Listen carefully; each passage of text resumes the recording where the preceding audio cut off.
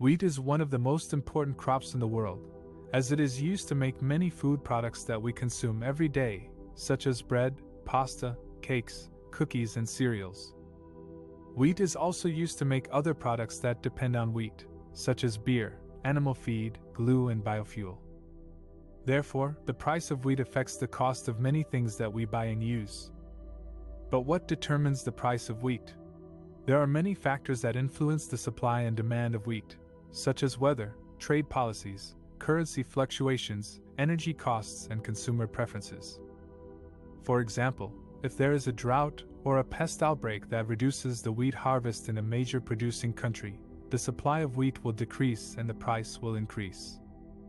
Conversely, if there is a bumper crop or a technological innovation that boosts the wheat yield in a major consuming country, the supply of wheat will increase and the price will decrease.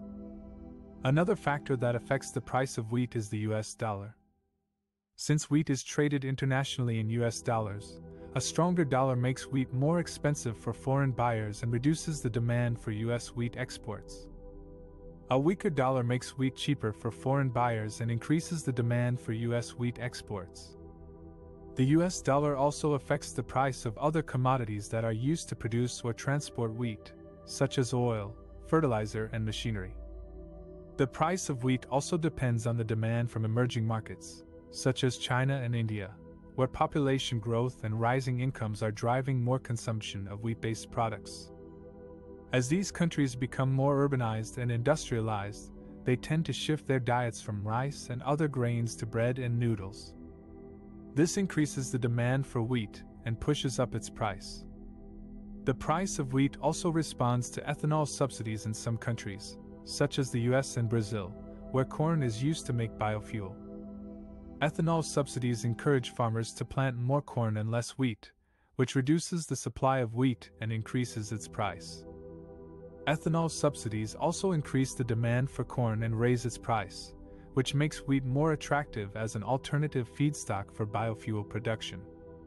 The price of wheat affects the cost of food and other products that depend on wheat in different ways depending on how much wheat is used in their production and how sensitive they are to changes in input costs.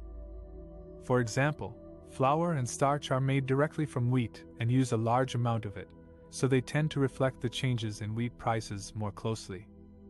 Bread and pasta are made from flour and use a moderate amount of it, so they tend to reflect the changes in wheat prices with some delay and less intensity. Cakes and cookies are made from flour but use a small amount of it compared to other ingredients such as sugar, eggs, and butter, so they tend to reflect the changes in wheat prices with more delay and less intensity. The cost of food and other products that depend on wheat also depends on other factors besides the price of wheat, such as labor costs, transportation costs, packaging costs, taxes, and profit margins.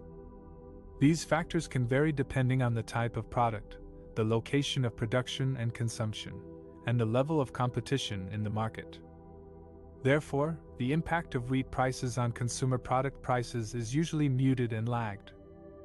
In summary, wheat prices affect the cost of food and other products that depend on wheat by influencing their production costs and availability.